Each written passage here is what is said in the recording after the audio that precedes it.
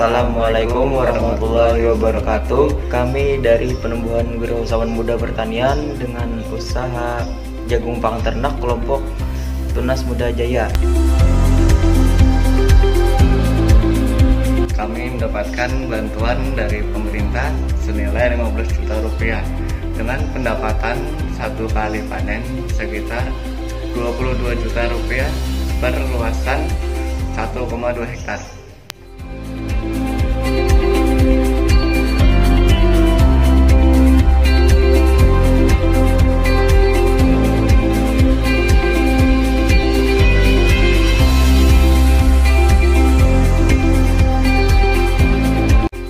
Ke depannya, kami akan menambah luasan lagi dengan cara berinvestasi ke tanaman lain, contohnya padi.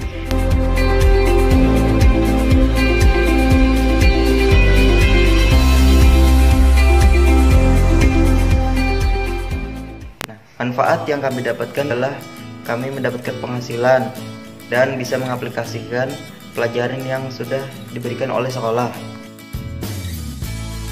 Kami berterima kasih kepada Kementerian Pertanian melalui Badan SDM yang telah memberikan bantuan atau dana.